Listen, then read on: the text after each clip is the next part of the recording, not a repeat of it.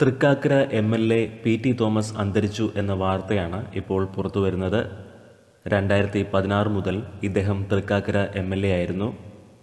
Cancer ബാധിതനായിരുന്നു. Vellore Christian Medical കോളേജിൽ ചികിത്സയിലിരിക്കുകയായിരുന്നു അന്ത്യം.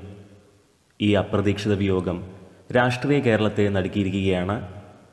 ഇന്ന് രാത്രി പതിനൊന്നരയോടെ മൃതദേഹം കേരളത്തിലേക്ക് കൊണ്ടുവരും. നാളെ ജന്മനാട്ടിൽ വെച്ചാകും സംസ്കാരം എന്നാണ് ഇപ്പോൾ അറിയുവാൻ കഴിയുന്നത്. K P C C working president കൂടിയായിരുന്നു പി ടി തോമസ്.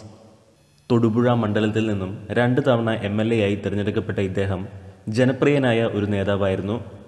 തന്റെ നിലപാടുകളിൽ ഉറച്ചു നിൽക്കുന്ന പ്രകൃതമായിരുന്നു പി ടി തോമസിന്റേത് കഴിഞ്ഞയിടെ കെ പി എസ് സി ലളിതയുടെ ചികിത്സാ ചിലവ് സർക്കാർ ഏറ്റെടുക്കുന്നതുമായി ബന്ധപ്പെട്ട് പലതരത്തിലുള്ള എതിർപ്പുകളും ഉയർന്നിരുന്നു. എന്നാൽ ആ തീരുമാനത്തെ പിന്താങ്ങിയ വ്യക്തിയായിരുന്നു പി ടി തോമസ്. എന്തുതന്നെയായാലും ജനപ്രിയനായ മറ്റൊരു നേതാവിനെ കൂടി നമുക്ക് നഷ്ടമായിരിക്കുന്നു.